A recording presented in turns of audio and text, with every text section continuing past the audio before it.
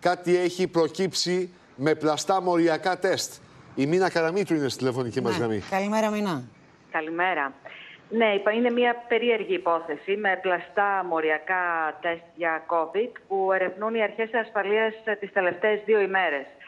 Σύμφωνα λοιπόν με τις μέχρι τώρα πληροφορίες, ε, δύο αλλοδαποί που εμφανίζονταν ως πατέρας ε, και γιος πήγαν σε ένα ταξιδιωτικό γραφείο της Αθήνας ε, και κατέθεσαν μας με τα υπόλοιπα χαρτιά που ήθελαν για να ταξιδέψουν δύο αρνητικά μοριακά τεστ.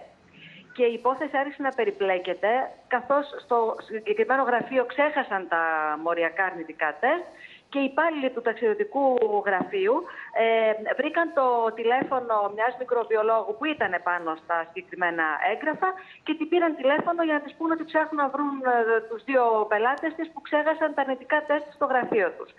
Η μικροβιολόγος δήλωσε άγνοια για αυτό το οποίο της περιέγραφαν από το ταξιδιωτικό γραφείο.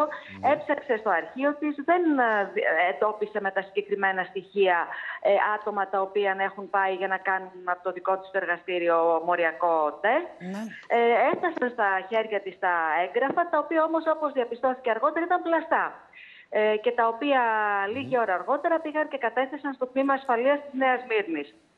Τώρα, αυτά τα χαρτιά επάνω ε, έχουν σφραγίδες, έχουν ε, υπογραφές και ψάχνουν να βρουν οι αρχές ασφαλείας τι ακριβώς συμβαίνει, ε, αν πρόκειται δηλαδή για μια πλαστογραφία από την αρχή μέχρι το τέλος ή ε, είναι κάτι πιο, ε, ε, πιο σοβαρό και πιο βαθύ, αλλά είναι όπως καταλαβαίνετε μια υπόθεση η οποία είναι ακόμα σε εξέλιξη. Και πόσα άλλα τέτοια μπορεί να υπάρχουν, ε, Μίνα; Ναι, γι' αυτό έχουμε πει από την αρχή, ότι, απ- από την αρχή του καλοκαιριού ότι οι αρχές ασφαλείας έχουν ε, ε, ζητήσει και από τους αστυνομικούς και κυρίως από όσους βρίσκονται, ξέρετε, στις πύλες εισόδου της χώρας, Ναι. να προσέχουν πάρα πολύ όταν τέτοιου είδους έγγραφα φτάνουν στα χέρια τους. Μάλιστα. Ευχαριστούμε Μίνα. πολύ.